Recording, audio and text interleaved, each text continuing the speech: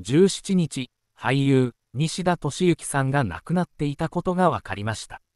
76歳でした。俳優の綾瀬はるかさんが、所属事務所を通じて、西田敏行さんへの追悼の言葉を寄せています。綾瀬さんは、西田さんを頼もしい大先輩と振り返っています。写真を見る、綾瀬はるかさん西田敏行さんを悼む、優しく軽やかで頼もしい大先輩。綾瀬はるかさん追悼全文。また共演したかったです。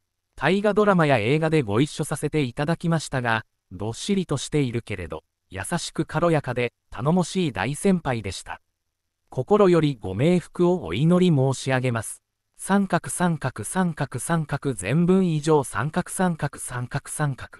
綾瀬はるかさんと西田敏行さんは、大河ドラマ、八重の桜、2013年、映画マジックアワー、2008年で共演しています。